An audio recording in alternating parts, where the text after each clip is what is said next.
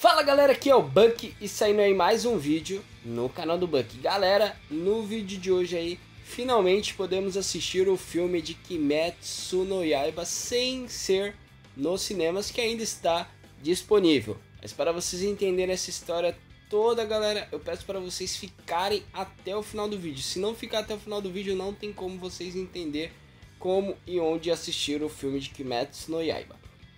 E antes de mais nada, eu peço para vocês deixar o likezão, galera. Minha meta de likes para esse vídeo é de 100 likes e de mil visualização. Quanto com a ajuda de todos vocês aí, deixando o like, se inscrevendo, deixando também seu comentário falando qual é o seu Hashira favorito. O meu aí é Sanemi Shinazugawa, o Hashira do Vento. Compartilhe esse vídeo com todos os seus amigos.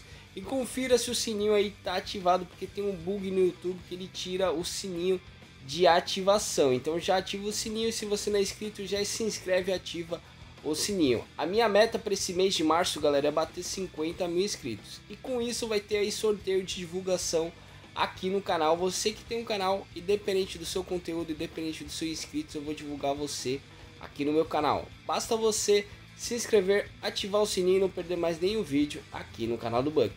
Falado tudo isso, bora começar. Bom galera, já saiu aí, como sabemos, já está disponível nos cinemas o filme de Kimetsu no Yaiba.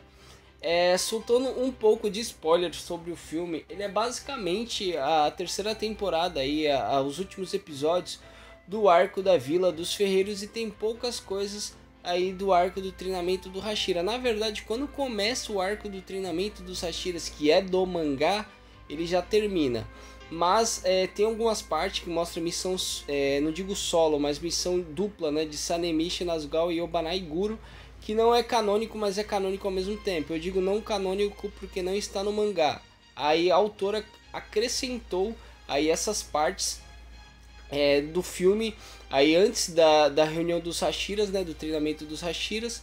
Então ela quis acrescentar para deixar algo mais aí a gente mais hypado, porque a gente não tinha visto a respiração da, do vento e nem a respiração aí da serpente. E com isso só faltando aí é, a respiração do Himejima. E com isso, galera, também é, a gente fica até atento que pode ter é, outros episódios que não tem no mangá, outras partes que não tem no mangá, mas a autora quis acrescentar aí nessa quarta temporada, assim como foi o primeiro episódio da série do arco aí do Trem Infinito, antes de que Juro reentrar aí no Trem Infinito, teve um episódio especial, então ela tá querendo fazer a mesma coisa. Galera, tá perfeito, perfeito, perfeito mesmo. E também, galera, dia 12 de maio aí desse ano de 2024 será lançada a série da quarta temporada do treinamento dos Hashiras. É, eles só lançaram aí o último trailer até o momento, falando sobre isso, mas não falou a quantidade de episódios. Eu comentei para vocês, galera, que no máximo aí seria sete episódios, porque se for contar dois capítulos é, por episódio, seriam aí três episódios. Então, se eles acrescentar alguma coisa além disso, seria aí mais três ou quatro capítulos que derem entre seis ou sete episódios o arco do treinamento dos Hashiras. E lembrando também que o arco do treinamento dos Hashiras é o pontapé final da luta de Muzan e os caçadores de demônio. Mas vamos aí para o que interessa, galera. É, no caso, se você não assistiu no cinema, quer assistir, é bem simples. Na descrição, galera, eu tenho o meu Instagram do canal, o meu Instagram pessoal. Peço para vocês entrar lá e me seguir. E tem abaixo o meu grupo oficial do canal do Buck.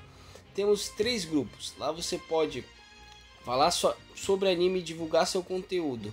E lá temos o drive completo do filme de Kimetsu no Yaiba disponível gratuitamente para todos vocês. Buck, o grupo tá cheio. Galera, vai nos meus vídeos mais antigos que temos lá vagas ainda para vocês entrar no grupo do WhatsApp do canal do Buck. Às vezes vocês não vão conseguir entrar porque tem limite de pessoas. É, tem um certo limite. Eu não sei eu dizer para vocês qual é o número, mas o grupo ele é bem lotado porque tem muita gente comentando, muita gente falando sobre anime e várias outras é, coisas aí relacionadas ao mundo dos animes.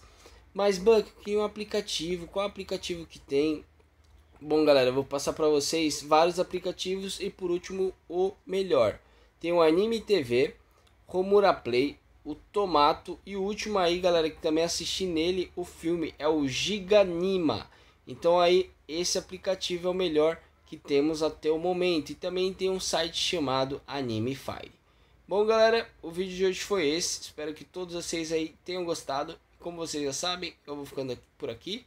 Um abraço do Buck, até o próximo vídeo e tchau, tchau, galera.